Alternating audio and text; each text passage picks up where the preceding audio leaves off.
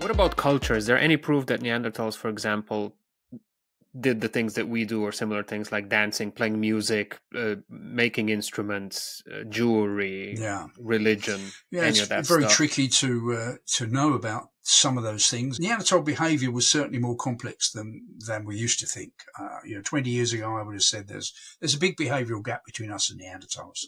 You know, they didn't make much use of, of raw materials like bone and antler and ivory. Uh, they didn't do any art um, and things like that. Now, the gap between us and Neanderthals is much narrower. Some people say it's disappeared altogether. I, I don't go that far. Wow. Um, Hmm. because there are some examples of Neanderthal markings on cave walls, uh, engravings. There's a thing called the hashtag, which seems to be made by a Neanderthal in Gibraltar, maybe 40, 45,000 years ago. Um, and uh, there are engravings on bones, zigzag marks, and so on, and linear, you know, what might be counting marks on, on some bones. So Neanderthals were doing that, but as far as I know, at least in my view, there's no representational art produced by the Neanderthals. So when we come on to 35,000 years ago, we've got lots of evidence of Homo sapiens. Fact, even earlier than that, there's, there's caves in Sulawesi where it seems that Homo sapiens was painting animals on the cave wall 45,000 years ago. Uh, pigs, wild pigs, for example. And we have the cave paintings in France at 35 to 40,000. Neanderthals, as far as we know, and also statuettes, I should say, from 40,000 years ago in Germany, we have lovely little statuettes of animals made of uh, mammoth ivory and even a female figurine um, from Germany about 40,000 years. There's no evidence of that for Neanderthals. So at the moment, it doesn't look like they produce representational art, uh, which seems to be unique to at least later Homo sapiens. Uh, but they were marking cave walls. They did apparently uh, mark things symbolically. So making these zigzag markings meant something to the maker, and probably they were transmitting a message to another individual. So it's symbolic of some message which we can't interpret. So Neanderthals had that complexity. We know that they did make more complex tools. They certainly mounted, um, you know, spear points onto handles. Uh, we know there's evidence even of adhesive that Neanderthals were making to keep uh, these tools together. Um, there's a site called Schöningen in Germany, dating from around 300,000 years ago, where you have the very rare preservation of wooden tools. And it's really quite striking just what a variety of tools were being made of wood 300,000 years ago. Now, we don't actually know the species that made those tools because this other species, Homo heidelbergensis, um, was also around in Europe at that time. So it could have been heidelbergensis, it could have been Neanderthals making, early Neanderthals making those wooden tools. But they are a variety of tools made very skillfully by people who really knew the material they were working in, choosing specific trees, a specific species of tree, a specific kind of tree, and then spending a lot of time working on these to make spears, uh, throwing sticks, digging sticks, and, and other kinds of artifacts out of wood. So most of that evidence has disappeared because wood doesn't survive well, uh, but that shows us the complexity of Neanderthals and, and their predecessors. And things like marine exploitation. Again, 20 years ago, um, it seemed that Homo sapiens were the ones that were really exploiting marine resources, uh, and Neanderthals didn't. Well, we now know Neanderthals were exploiting marine resources at times. Neanderthals living on the coast were collecting shellfish, and they were eating even marine mammals at times. Uh, remains of dolphin are found there, of seal. Now, because they may have scavenged some of these, maybe a dolphin washed up near the cave, but they ate it. But they certainly collected enough shellfish that they were purposely doing that. And they were in Gibraltar. We found evidence of Neanderthals taking limpets and then baking them as people do today. As your fire is dying down, you drop your limpet shells into the fire and they open up naturally from the fire. Uh, and that's what Neanderthals seem to have done uh, in, in Vanguard Cave in Gibraltar. Um, Smart yeah. people. So they, you know, they were much more like us than we used to think. And that's why this old image of the brutal Neanderthal, the ape-like Neanderthal that used to be around, uh, we have to throw that out, certainly. What kind of clothes did they wear? Well, unfortunately, the evidence of that has, has disappeared. Um, I'm sure they must have had Okay. clothing. Um, they were certainly, Yeah. they had the technology to work animal skins. Um, and they must have worn clothing at times um, when it was really cold. Maybe they didn't when it was warm; they didn't need to. Uh, but perhaps it's comfortable to cover bits of your body if you're going through, you know, uh, some some coarse vegetation. You're going to, you know, if you're wearing clothing that will protect you a bit. Maybe they had shoes, but again, not direct evidence of that. Um, but yes, I'm sure they had clothing when it was really cold. Of course, um, they must have had clothing. Maybe they didn't have sewing needles. Perhaps that's something that came with Homo sapiens. And if you've got sewing needles, you can produce better insulation for your clothing, for your tents, uh, uh, for your to cover your baby, to keep your baby warm, which is critical for survival. Um, so maybe they didn't have that, but I'm sure they had clothing. Um, I'm sure they were skilled at working animal skins. Yeah. You mentioned the hashtag that was carved into a rock, I believe, by Neanderthal. Yes.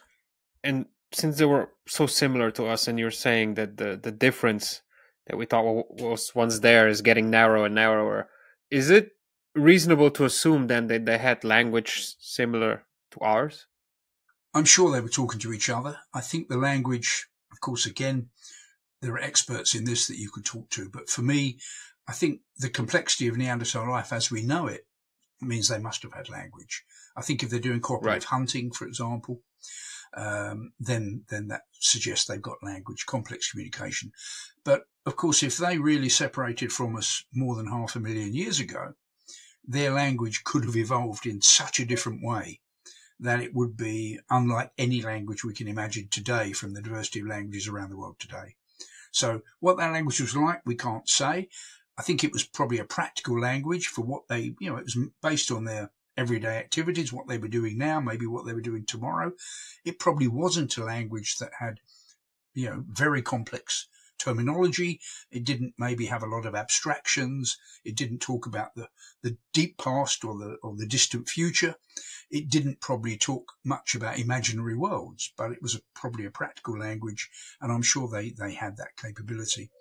And there's one side I haven't mentioned in terms of Neanderthal complexity. So there's a remarkable site uh, deep in a cave, Bruniquel Cave in, in France. Um, deep in the cave, well beyond any daylight, uh, explorers found um, two oval structures made out of stalagmites. So someone had systematically broken stalagmites and built dry stone walls in oval shapes They'd had fires down there because it was completely black, so completely dark. So they must have had fires, and there's evidence of these fires of them burning uh, both charcoal and animal bones and animal fat for these fires. When these stalagmites were dated, these stalagmite rings, they were dated to 176,000 years ago. Um, deep in this cave. And at that time in southern France, we only think Neanderthals were around. So very likely this was made by Neanderthals. Why they did it deep in the cave? Some people think this is some, you know, religious structure, you know, some ritual structure. Um, I think they could have actually been living down there at times because 176,000 years ago was pretty cold. It might have actually been warmer in the cave, sheltered. Um, okay, they'd have needed fires to keep burning down there. Um, but maybe actually these are hut structures. Now they've not been, the floor has not been excavated yet. And so we don't know if, if this, if there will be living debris down there where they're actually living or were these some special ritual structures. So there's a lot to learn about that, but it shows the complexity and the fact that they've gone and systematically broken stalagmites to a given size to build these walls. Again, that's cooperative behavior. That wasn't just one or two people doing that. It was groups. And again, that suggests language to communicate something as complex as that. And back to your question about music. I know I didn't answer that one.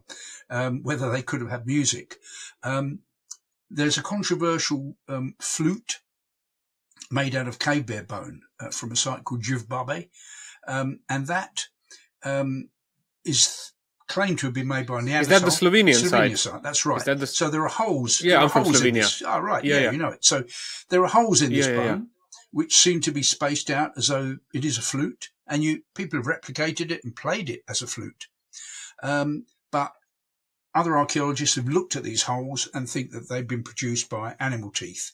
So cave bear teeth and hyena and lion teeth, you know, fit into those holes equally. So it could be an accidental product that we recognize as a musical instrument. So I'm cautious about that being a musical instrument. And the best ones who know about come from 40,000 years onwards. So when we come to Homo sapiens in Germany, for example, there are flutes made out of uh, vulture bones um, and even out of ivory, very difficult material. And those undoubtedly are musical instruments. For Neanderthals, yeah, I'm sure they had some kind of music. I mean, those people who are breaking off all these stalagmites deep in that cave. You can even play stalagmites like xylophones. So I don't see why the Neanderthals couldn't have been drumming in those caves with stalagmites. You know, they'd make a nice ringing sound. Why not? Thank you so much for listening. If you liked what you heard, please consider subscribing to Smart Cookies on YouTube. Uh, what else is there? Apple Podcasts and Spotify. And if you really liked what you heard, uh, feel free to become my Patreon. No, my patron on Patreon by going to Patreon and becoming my patron. It's really easy. Just type Smart Cookies Podcast in there. You should be able to find me. Last but not least, I have to thank the absolute legends that are my producers on this show, my existing patrons on Patreon Aida, Mancian, Miha Medved, Medino, Gordon, Jurechuk, Lorenzo, Mila, Carmen, Taichi, Goran, and Veronica. Without you guys, this show wouldn't exist. So massive thanks. Um, and yeah, see you in the next episode. Bye.